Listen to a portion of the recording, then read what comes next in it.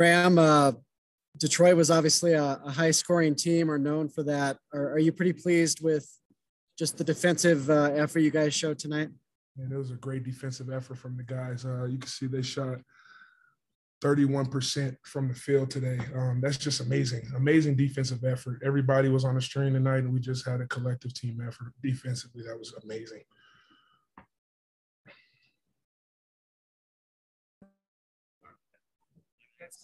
Graham, it seemed like uh, Maldo kind of set the tone early with some nice passes for easy baskets and just controlling the tempo. Just what have you seen from him running the point? Oh, you know, he just sees everything. He always knows where to put guys in the right spots and he always knows where to find guys in the spots. And then when he's passing the ball to shooters, he always puts it in their pocket. You never see any balls outside the strike zone. You know what I mean? Graham, the uh, seemed like they you guys had a lot of designed or went to you a lot early on uh, as far as scoring goes. Did that kind of help you get in a rhythm tonight? Um, yeah, you know, early on, uh, the first shot went in, and then a couple other shots. You know, there were some in and outs. You know, so I wasn't really too worried. I understood that they would fall in the second half. Um, so I just had to put trust in the guys. You know, to keep keep hitting shots, and you know, I just keep playing hard, uh, whether they're going in or not. What was it like to kind of get a lot of people involved tonight and show off a little bit of the depth you guys have developed? Oh, it was amazing. Uh, the atmosphere tonight was just amazing. Um, couldn't ask for anything more, and it's great to have uh, Poke basketball back. I'm super excited for this season.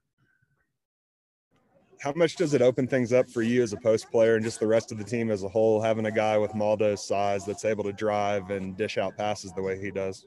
Well, it opens up a lot because the defense is also keying in on him as well. Um, so it's eyes everywhere, you know, just on everybody really. So I'm just, I'm just really, uh, really grateful for what this, what this team is doing, you know.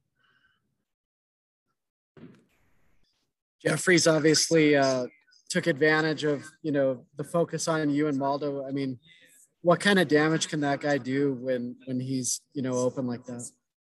As you see, four for five, man, that's 80%. you know, that's that's crazy. Um, and then, uh, you know, if guys do double, you know, try to make the right pass and he'll hit it. And then um, usually they don't double, they don't help off him. So that just opens up the floor even more. Did you guys kind of sense during your offseason workouts that not that you could just blow them out, but that you would get off to a good start this season and we're kind of chomping at the bit to get this going? Um, you know, just all the work that we put in over the season, you know, we just wanted to trust that work and um, really just come in not worried about it and just play and have fun. That's all that really was today.